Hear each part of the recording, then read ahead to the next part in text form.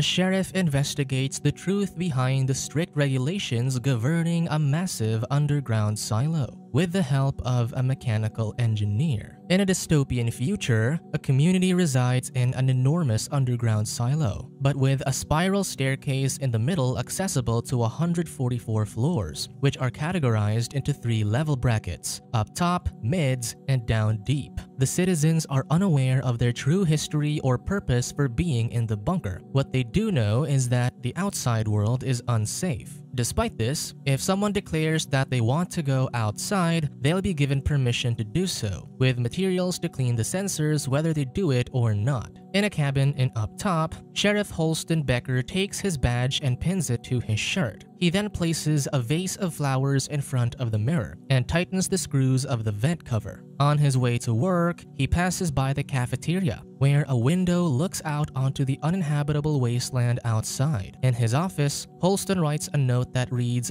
double the flowers in front of the mirror, and then slides it into a folder. Afterward, he writes another note and unpins his badge before placing it on top of the paper. Then he instructs Deputy Marnes to meet him at Holding 3, where he locks himself in the cell and gazes out the window at his lifeless wife Allison Becker, wishing he could see her again and regretting not listening to her three years ago. Sensing what Holston's about to do, Marnes tries to talk him out of it. However, the sheriff declares that he wants to go outside, leaving the deputy with a painful decision to report it to the mayor. Three years ago, Holston and Allison were informed via their silo mail that they had been granted childbearing status, allowing them to attempt pregnancy within 365 days. Since that was their third time trying after two failed attempts, the couple was thrilled to receive the news. Following the good news, Holston and Allison headed to the cafeteria where they received congratulations from those around them. While enjoying their meal, Gloria unexpectedly approached them and offered fertility counseling. However, the sheriff was wary of her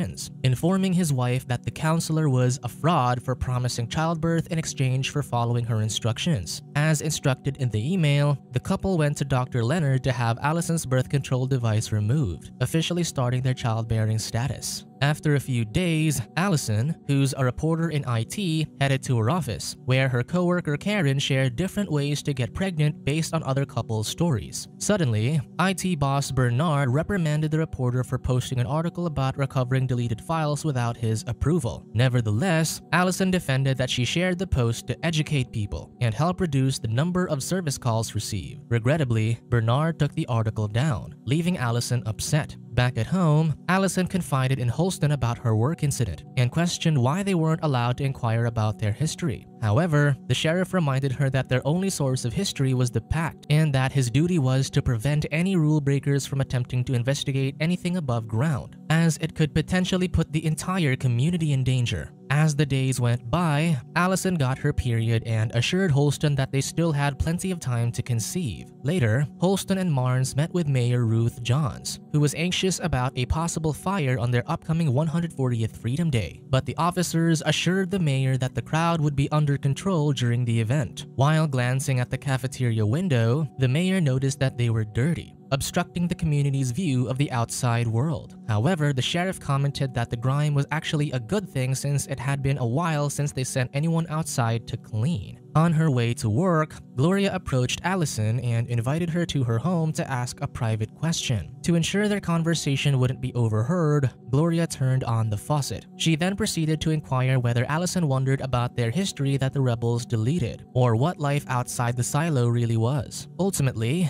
Gloria questioned whether Allison truly believed she was the type of person the pact would want to have children. Following her conversation with Gloria, Allison confided in Holston that the counselor had been unsuccessful in conceiving a child with her husband after multiple attempts, and believed that their infertility was intentional. However, the sheriff reassured Allison that her birth control had been removed, which meant they had the same chance as anybody else cleared for childbirth. While at work, Allison received a complaint ticket from a programmer in the mids who had a repair stall in the market. Due to her husband's duty on Freedom Day and everyone else taking the day off, Allison decided to work during the holiday. The night before the holiday, Allison took a trek down to the mids and stayed in a hostel so she could attend to George first thing the following morning. On Freedom Day, while Holston was on duty, Allison met with the programmer George. To her surprise, the computer guy not only read her post about retrieving deleted files but also printed it out. He also revealed that he had strategically timed his request to meet her specifically without raising suspicion from Judicial, who prohibited people from owning relics, which are objects from the time before the silo was built. To elaborate, George handed Allison an old hard drive discovered under a closet's carpet by an anonymous person. Despite the nearly full memory, there seemed to be no visible data on it, indicating that the data was hidden. As the entire community filled the staircases of the silo from top to bottom, Mayor Ruth delivered her speech. During her address, she celebrated the freedom that the community had obtained 140 years ago from rebels who had erased all of the historical evidence. She stressed that if it weren't for the founders stopping the rebels, the people inside the silo wouldn't exist. While Allison figured out the source of the relic, she wrote different inputs on the back of the printed article and crossed them out if they didn't work. Eventually, she was able to get the right input from the hard drive by using a magnifying glass, enabling her to retrieve the deleted files. George eagerly opened one of the files that contained a blueprint of the silo structure. However, Allison, who believed the information was too important not to be illegal, insisted that the programmer bury the relic.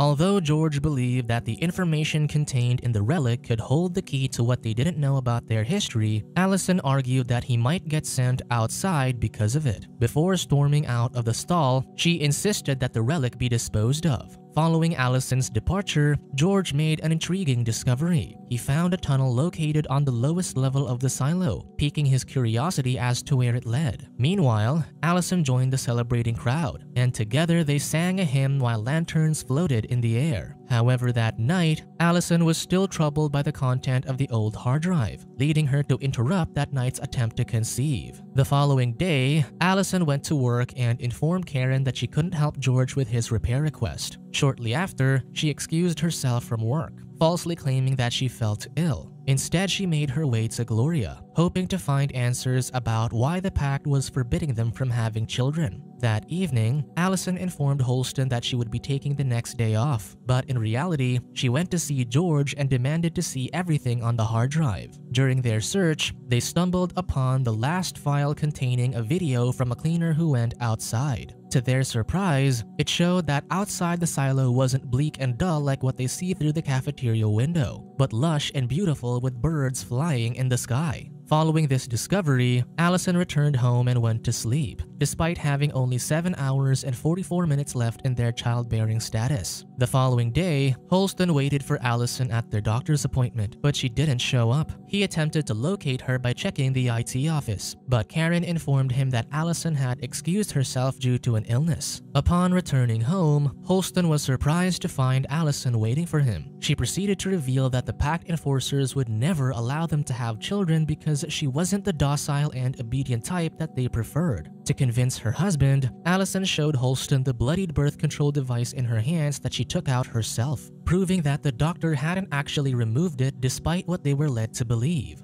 Holston quickly fetched Dr. Leonard to get medical help. However, on his way back, Deputy Marnes informed him that his wife was in the cafeteria. Shortly after, Holston, Marnes, and Dr. Leonard hurried to the cafeteria where they found Allison standing in the middle, bleeding and exposing the truth that the display was a lie. She revealed that outside, there were green trees, blue skies, and flying things. Holston tried to stop his wife, but Allison insisted that she was not having a breakdown. Suddenly, she declared that she wanted to go out, causing a stir in the crowd, as it was an irrevocable request in the silo. As a result, Marnes had no choice but to arrest Allison. After the incident, the officers notified the compassionate mayor, who initially entertained the notion that Allison may have been misheard. However, Holston remained steadfast in his duty and confirmed Allison's declaration was legitimate. Subsequently, the mayor requested any possible leads regarding who may have influenced Allison's drastic actions. Deputy Marnes implicated Gloria as the possible mastermind, who confessed to implanting the idea in Allison's mind that they're not the kind the pact wanted to have kids due to her and her husband's infertility struggles. Furthermore, they interrogated George and searched his stall, but failed to discover any valuable information. Ultimately,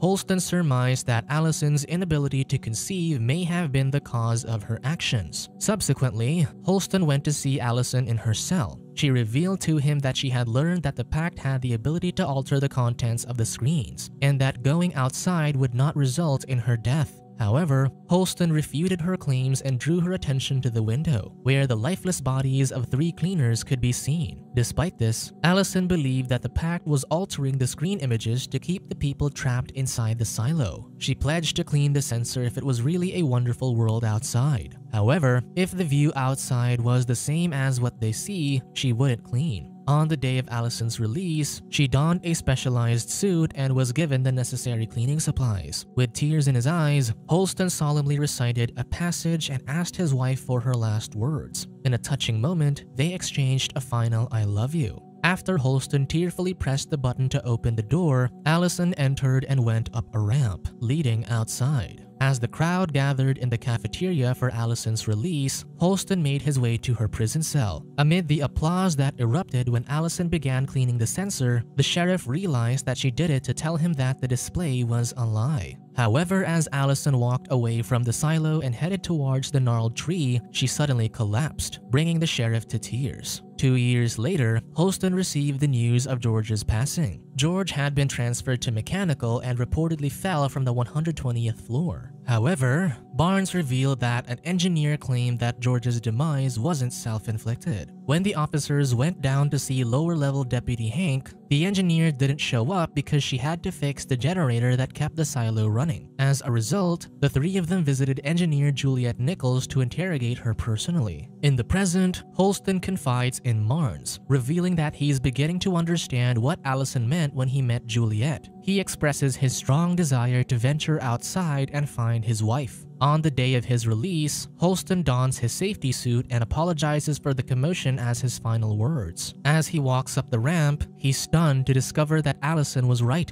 The world outside is a lush green landscape. In the down deep cafeteria, people watch in astonishment as they witness the sheriff clean the lens before heading toward the tree where Allison perished. As he collapses near the tree gasping for air, Holston removes his helmet, the first time anyone's done so before. Finally reaching his wife, he collapses by her side. While the crowd is in shock, Juliet reacts differently and storms out of the cafeteria, accusing the sheriff of being a liar. As tension rises in the cafeteria, a fight breaks out between two individuals, causing a commotion. Knox, a mechanic, steps in to break up the altercation and reminds everyone of their duty to keep the silo's lights and generators running. Enraged, Juliet storms down to her workstation and impulsively throws an object, causing one of the pipes to burst and send water gushing across the room. Upon reading Holston's note, Marnes makes his way to Jahns' office, where the two share a drink and discuss the sheriff's release as a first in the silo's history. Despite getting offered the sheriff's position, Marnes politely declines, citing his upcoming retirement. Meanwhile, Mr. Sims from the judicial approaches Deputy Brooks, who doesn't appear competent in intervening in two men fighting over a hammer. Later, Juliet visits a veteran engineer named Martha, explaining that her outburst in the cafeteria was because Holston lied about George. The day before George's demise, the programmer visited Juliet in the cafeteria during Cooper's celebratory transition as her shadow. However, George was paranoid because he and Juliet weren't officially sanctioned. The engineer tried to reassure him that their relationship was no secret and that nobody cared. In a rush to leave the cafeteria due to the presence of judicials, George invited Juliet to his place after work to share his recent discovery. However, when the engineer went to his place that night, George wasn't at home. All she saw was a pouch containing a note and a PEZ dispenser, which confused her. The next day after hearing the news of George's demise the previous night, Juliet confided in Hank about her suspicion that George didn't end his own life, prompting the deputy to take the matter to Holston for investigation, which was why the sheriff personally visited her. During the investigation, the sheriff and Juliet went to the ventilation unit where George's body was found. Juliet insisted that George showed no signs of self-aggressive behavior, prompting the sheriff to order his deputies to investigate whether there were any porters present during the programmer's demise. After the others left, Holston noticed Juliet's watch and inquired if it was a relic, but she insisted that it was legal. He then urged her to disclose any information she had about George, emphasizing that he wanted to find the truth. While examining George's body, Holston and Juliet were interrupted by the returning deputies, who disclosed that there were no porters present, indicating that there were no witnesses present during the programmer's death. Later, Juliet took Holston to George's place, finally disclosing that George left a PEZ dispenser and a note that reads, Remember where you last saw this? On the night he perished. To demonstrate the meaning behind George's note, Juliet took Holston to a prohibited passageway where they discovered numerous inscriptions on the wall, likely created by people who lived before the rebellion. Afterward, they descended through a manhole, leading to a massive machine that Juliet speculated was the remains of the silo digging machine. She added that the theory was that the founders had enclosed it with concrete to conceal it. Then, Juliet led Holston to George's makeshift camp beneath the ladder, where she last saw the PEZ dispenser. There she opened a box containing a collection of relics, revealing George's obsession with them. As they examined the relics, Juliet noticed a wire that leads to a suspended piece of steel. At its end is a bag containing instructions on how to recover deleted files and the old hard drive. Upon seeing Allison's handwriting behind the instruction paper, Holston revealed revealed that Allison had worked with George on a repair request before her release from the silo, prompting the engineer to think that the sheriff was only helping her to investigate Allison's demise. Furthermore, Juliet believed that George's death had something to do with the hard drive he hid. However, the sheriff confiscated the hard drive, prompting the engineer to tell him that maybe if he listened to his wife, she'd still be alive. Triggered, Holston explained that he avoids working during the daytime since passing through the cafeteria reminded him of his late wife, whose body is still outside the silo's window. Eventually, the sheriff agreed to help the engineer, but with the strict condition that she remain quiet and inconspicuous. He also advised her to stop wearing her relic watch to avoid drawing unwanted attention. Before leaving, Holston gave his word that he would keep Juliet informed if he discovers any valuable information. In the present, Juliet points out that she held on to the sheriff's promise and waited for new information, but he never got back to her, revealing the cause of her outburst in the cafeteria. Upon Martha's suggestion to take a day off, Juliet confides in her that she never actually showed the sheriff George's entire note. She then reveals the second half of the programmer's message that reads, I found what I was looking for, which she believes was more dangerous than a relic. Meanwhile, as Mayor Jahns goes through the list of possible candidates for the sheriff's position, Marnes reveals that Holston left a note nominating Juliet Nichols to be his successor. He added that if the engineer objects, he wants his badge to be given to her. Curious why Holston